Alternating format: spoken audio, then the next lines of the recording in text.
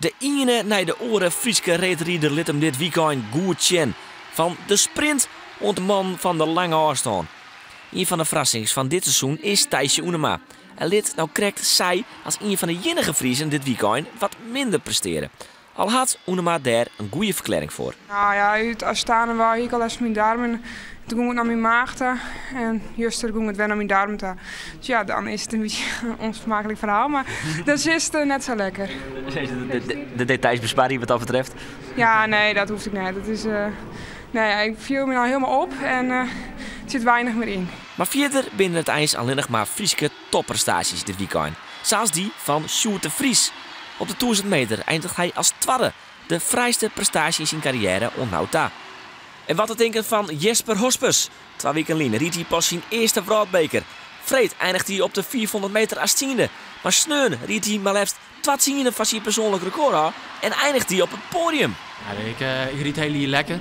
Gaat goed. En uh, ik heb een mooie lijn te pakken. Maar uh, dat ik dit joet nog even goed wandelt, hier ik net toch. Redden van de brood. Ja, dat klinkt nog een beetje onwerkelijk.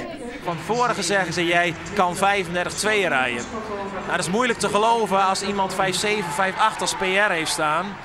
Maar uh, het is heel mooi dat het zo snel, zo goed met die jongen gaat. Bizar is ook nog, hij rijdt 35-6. De nummer 1 was 35-01. Ik bedoel, 500 er ook nog. Ja, het is gewoon een toptijd. En ik ben wel heel blij. Uh, het is gewoon echt een, een, winnende tijd. Het is echt een podiumtijd. Alleen in dit veld weet je maar nooit wat je ook maar zo met zo'n tijd, uh, vierde, vijfde. Maar ik ben wel, hij heeft het echt verdiend. En uh, die derde plek was gewoon super gaaf. Voor ons team is het super. En voor Jesper is het natuurlijk een droom. En het is gewoon een hele leuke jongen, een leuke vent. Goed met zijn sport bezig. Dus je gunt het hem ook nog gigantisch. En dan de 10 kilometer. Daar binnen het alleen nog maar de Friesen die de klok slaan. Douwe de Vries eindigt als vijfde. Bob de Vries als derde. Bob de Jong ben het nou op de Jouwer, we twadden.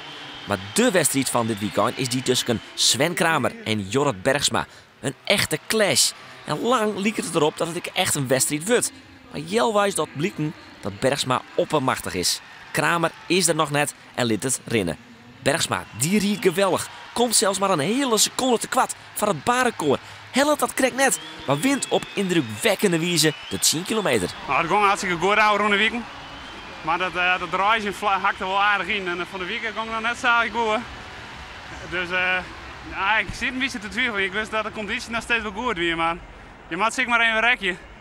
Maar uh, ja, we de 10 kilometer kan er even in komen. En, ja, ik kreeg wel heel goed te pakken. Dus, uh, Heb je niet wat de merk eerstburg weer dus? Nee, ik, ik kom er trok in. Het verbaast mezelf ik. En ik blijf maar uh, drie of vier in. Dus uh, ja, dat ging super. Sven Kramer riet voor het eerst werd een 10 kilometer. En dat is gewoon wij krijgt nog even te vier. Of die nou dan afzuist van nou ja, dit wie eigenlijk wel een beetje in de lijn van verwachting. Nou ja, het valt me natuurlijk wel aan. Uh, ik hier, ik hier uh, graag Oorsvold. Maar goed, uh, ik ken dan, ik ken hem met Chiron te gaan en ik ken keuze mij van ja, ik verrot hem, tot aan, verrot hem tot aan de finish aan daar en ik riep mezelf helemaal op een hoop. Of ja, ik let hem een beetje erin en ik heb voor het laatste gekozen. Kramer eindigt uiteindelijk als jochende. Maar de bandploeg doet het super. 1, 2 en 3. Bam! Ja, zeker. Ja, dat jij ik. Daar ben ik nog net echt mee bezig geweest. Maar ik zeg dat Bob de Vries eerst een hartstikke goede rit rijden. En van hem krijg ik al dat Bob de, Bob de Jong ik nou hartstikke goed bezig is. En uh, ja, iemand wat draaien, super. Dreksplaats voor de tweede serie, dus uh, ideaal. 1, 2 draaien, bam! Ja, zeker. Ja. Nee, maar het, is, het is een heeg niveau. Het is net alleen nog wij, maar ik moet zeggen, maar uh, al die orenman die ried ik uh, onder de 13 Een hele protte nog tussen 13 en, uh, en 20. Het is gewoon, voor mij is het de beste 10 kilometer die er ooit rijden is. En hoe vierde Sjoster dan maar dan een beetje jaloezie naar die bandploeg? Dat is van, verdeur waarom loopt het bij u TVM net? Nee, nee, zo, zo, zo, zo, nee, nee, zo, zo helemaal nee. Ik zo, als ik hier gewoon echt goed ben, en uh, ik krijg gewoon zuur op mijn kloten, ja, dan breekt de boel uit. Maar ja, dat is, dat is, dat is het op dit moment gewoon net. Nee. Ja, kennen het meer van mij. Lagerst. Nou ja, dat, dat, dat jet toch ik zag. Dan, dan moet er even wat sneuvelen, dus dat herken ik wel. Dan ging ik het interview in samen niet. Dan ging ik de poort nou brood. Nee, dat snap ik, ja. ja. Ben, ben ik hier nog een keer samenwerken eigenlijk? Hoe zit dat? Ja, wie weet. Ik heb er meer geld.